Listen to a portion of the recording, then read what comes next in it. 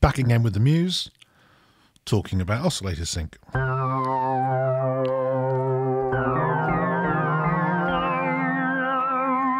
Oh, this is a classic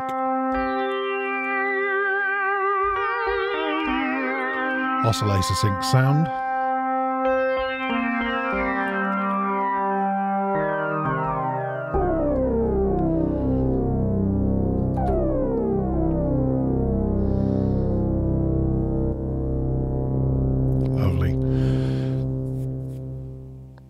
So I'll do an init patch and I'll show you how it's made.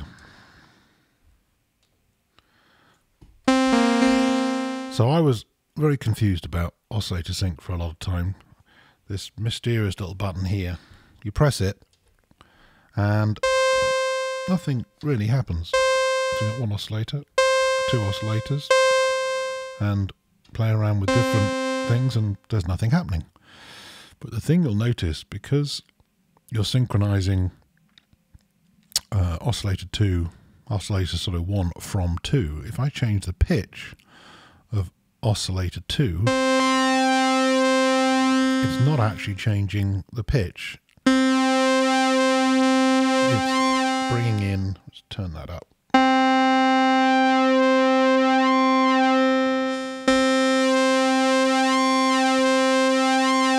Bringing in different harmonics.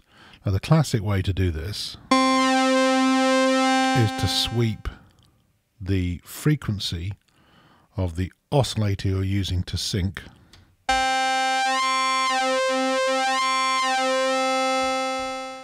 with a fil- with an envelope. In this case, I'll use the filter envelope. So I'll use the assign button, assign it to this one, give it full beans, and hit enter. And now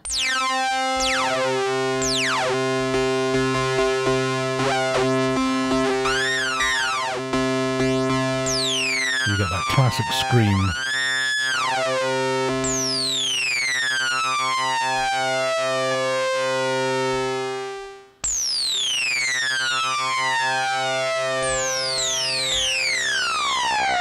Focusing that high end out.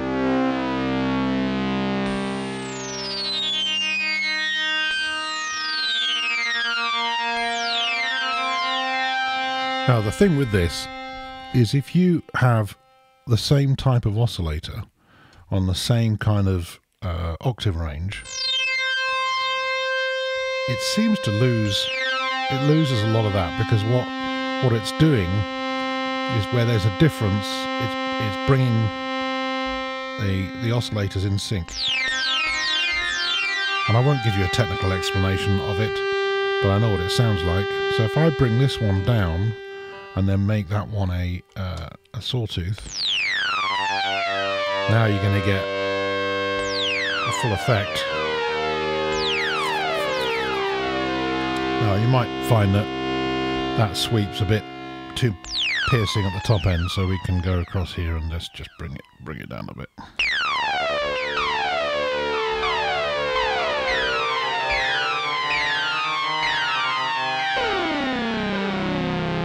And of course I can bring the other oscillator in to give it more fatness.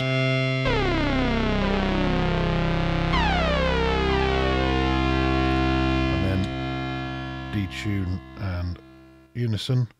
Probably a bit loud this. Oh, it's just a bit loud.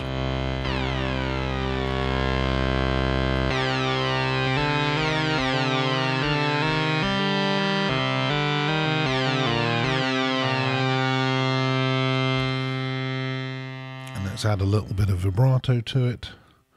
So we will assign uh, the mod wheel to the amount of vibrato. Oh, hold on a minute, there you go. Enter.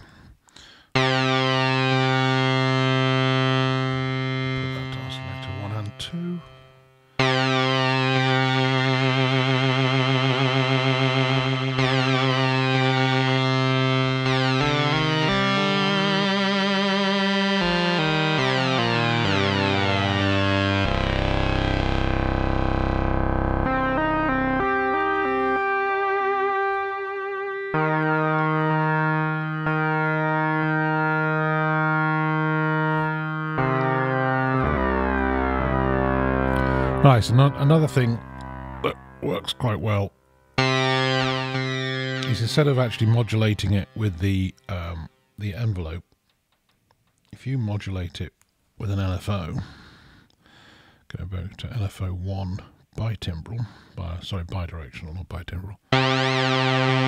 That's a bit that's a bit weird, but if you put it on uh, sample and hold,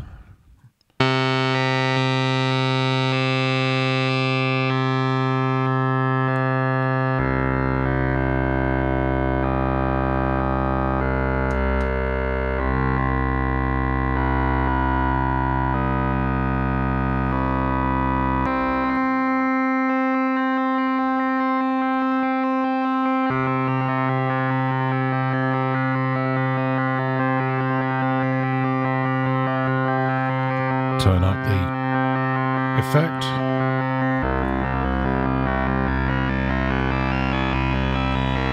Almost sounds a bit sort of wavetable like.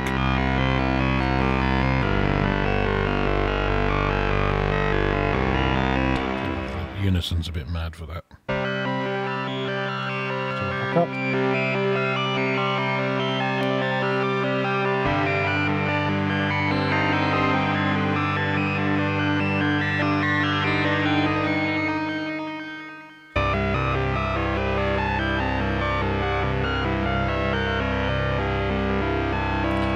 up. the other really quite unique thing about the Muse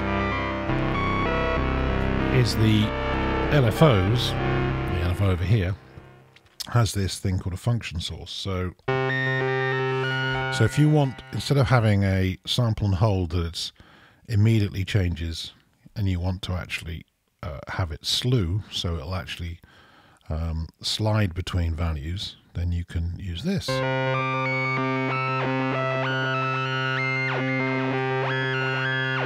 So you're bringing in that sync sound randomly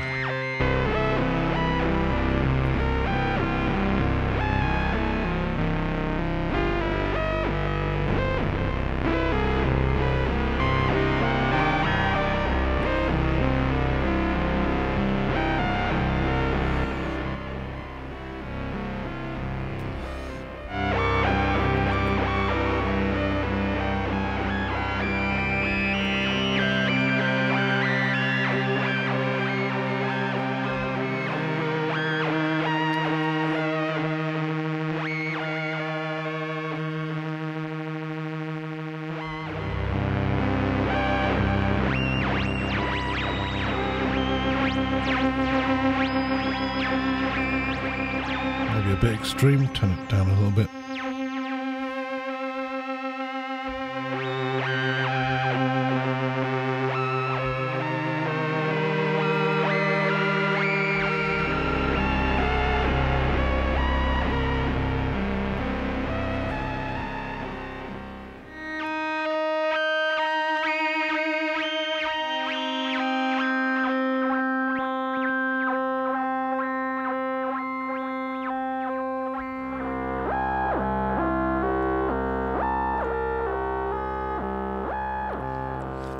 So there's oscillator sync. So as a recap, what you have to do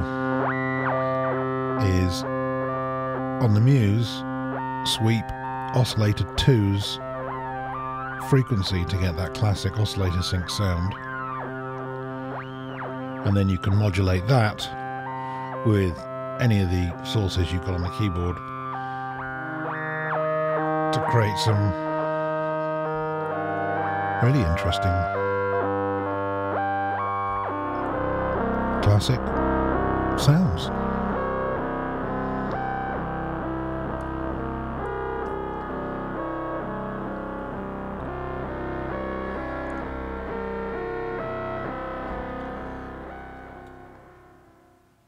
Now the other thing that might go a bit crazy is if I put the LFO type to per voice, then you're going to have each voice having its own sync settings, so sync randomness.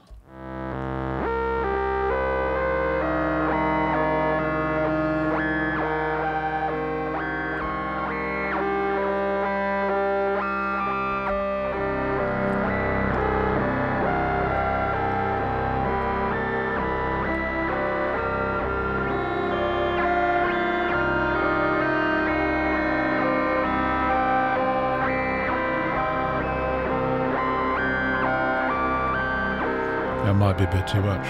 Why not? Depends what you want. See you on the next video.